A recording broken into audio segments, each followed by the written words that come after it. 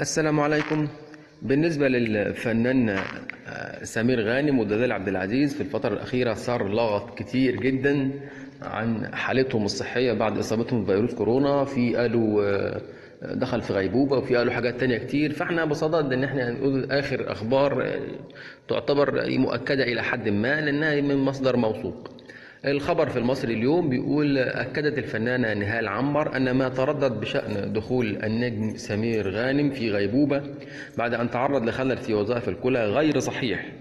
وأوضحت في تصريحات للمصري اليوم بحكم كونها المسؤول عن ملف الصحة في نقابة المهن التمثيلية أنها تتابع حالة النجم الكبير وما يطرأ عليها أول بأول ولم تتلقى أي معلومات عن دخول الفنان سمير غانم في غيبوبة. وتابعت نهال أن سمير غانم لا يزال داخل غرفة العناية المركزة بالمستشفى التي يتلقى فيها العلاج وتعتبر حالته غير مستقرة. استعرض لأزمة تنفسية أثرت على الصدر. ما دفع الأطباء لوضعه على جهاز التنفس الصناعي. وطالبت نهال محبي الفنان سمير غانم بتكثيف الدعاء له وللفنانة الكبيرة دلال عبد العزيز التي تواصل العلاج من فيروس كورونا داخل أحد المستشفيات الأخرى وكان الإعلامي رامي رضوان زوج الفنانة دينا سمير غانم قد نفى قبل ساعات ما تردد عن دخول الفنان سمير غانم في غيبوبة بسبب إصابته بفيروس كورونا.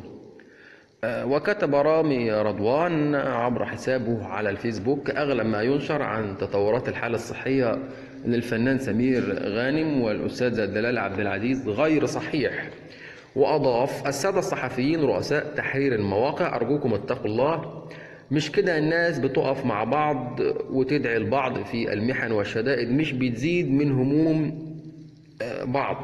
وتابع آه، لا تدعوا آه، أنفسكم وتجروا وراء السبق الذي يكون على حساب الإنسانية والرحمة والعقل وعلى حساب الآخرين ونفسهم وأسرهم.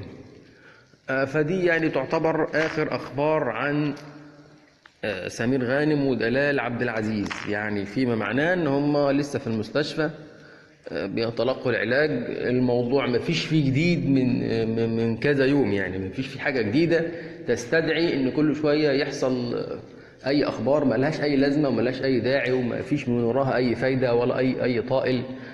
كل واحد بيدي أخبار جزافية كده عشان يعمل سبق صحفي. ممكن يبقى الكلام بتاعه مش مظبوط. كل حاجة ليها وقتها وكل حاجة بتحصل في وقتها. وربنا يشفيهم ويشفي جميع المرضى كورونا ويشفي جميع المصريين وجميع المسلمين. اللهم آمين.